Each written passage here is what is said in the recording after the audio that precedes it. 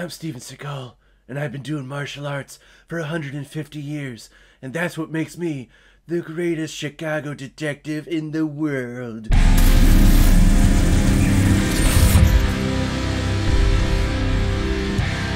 The Law, released in 1988, it is directed by Andrew Davis, who is also behind such films like Stony Island, The Final Terror, Under Siege, The Fugitive, and Collateral Damage. And of course, this film is starring Steven Seagal, Pam Grier, Sharon Stone, Daniel Faraldo, and Henry Silva. And the reason why we're talking about Above the Law today is because it was a PayPal recommendation and donation from one of my contributors and supporters of this channel, Dr. Camp thank you very much. If any of you out there also want to be like Dr. Camp and help support this guy on YouTube, you can click the PayPal link that is on my homepage of my YouTube channel. Select the link, you can enter in any size donation you want to send my way. Send me your recommendation, and I'll give you a little shout out just like what I did with Dr. Camp here. Thank you very much, Dr. Camp. And after watching this movie, I'm realizing that thank God, even though I was born in Chicago, I didn't live in Chicago because I would have driven myself crazy if I would have developed this type of accent. Sergeant Nico Toscani is the greatest Chicago martial arts detective in the world. And after studying martial arts his entire life, and after a brief stint in the CIA over in Nam, he decides to settle down and become a detective in the Chicago Police Department, where he drives around all day busting up people's noses and popping everyone for drugs and stuff. Well, now he's kinda stumbled upon a big coup to kill a US senator, and it turns out it's being run from the evil guy from Nam that he got into a disagreement at one time in the CIA with. Now it's up to Nico to protect his family and take down the crime lords, even if it means he needs to go above the law to do so. The movie came out in 1988, so it's as old as I am. I was born in 1988, and thank God that I wasn't, or that I didn't live through the 80s because it just things got a little more complex as the years went on in the 90s and in the 2000s. In the 80s, people were very simple, and they wanted simple things. They wanted simple ideas in their movies. They wanted simple characters and simple plots. I'm gonna go to the movies, I don't want to think about things. I just want to sit back and watch a guy break people's necks and break people's hands and break people's noses like crazy,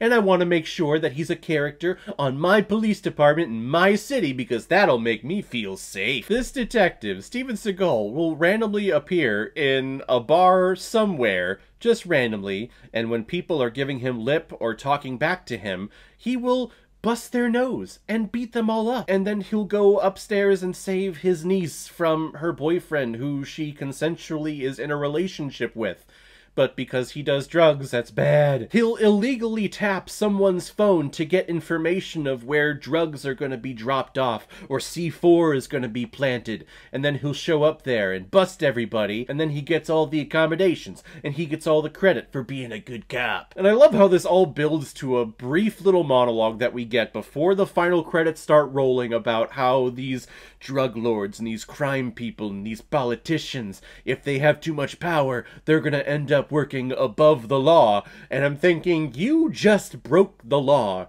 and worked above the law this entire time.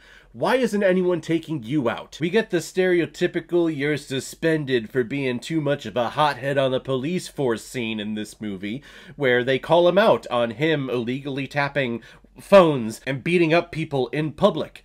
So I'm like, yeah, I'm I'm behind you guys for ridiculing this man and suspending him because he really is the villain here. We shouldn't be hiring this type of person in our police force and our detective squads.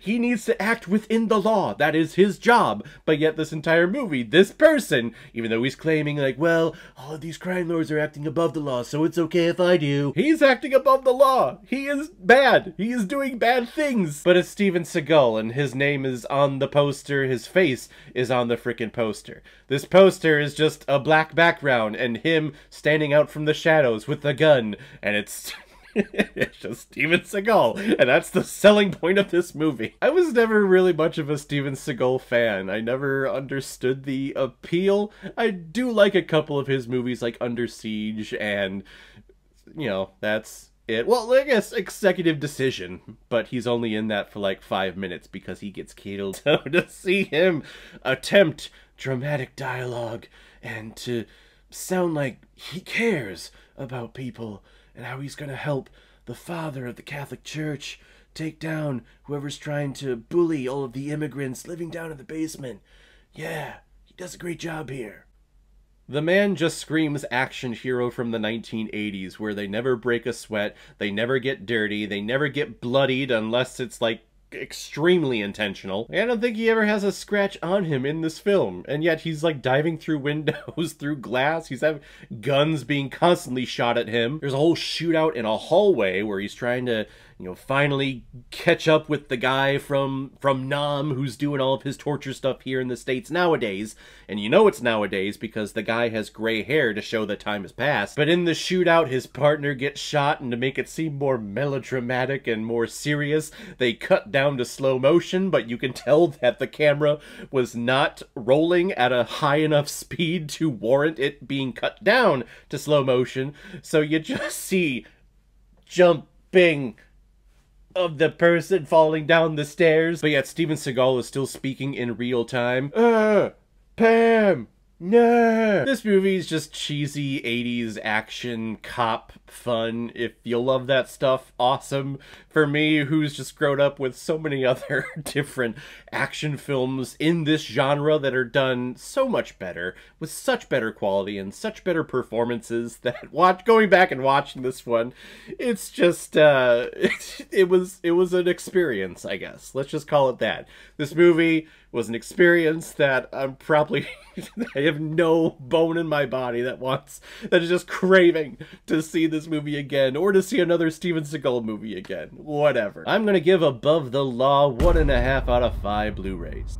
No, sir, I didn't like it. So guys, if you've seen Above the Law, what did you think about it? Or if you've never seen it before and you stumbled across because of this video, then comment below, let me know what you thought about it. And as always, if you like what you see here, if you like my take on movies, then hit the subscribe button and make sure you hit that bell so you'll the next time I release next movie review. So guys, I will see you next time on the channel, but in the meantime, be well, be good to each other, and go watch a movie. Take care, guys.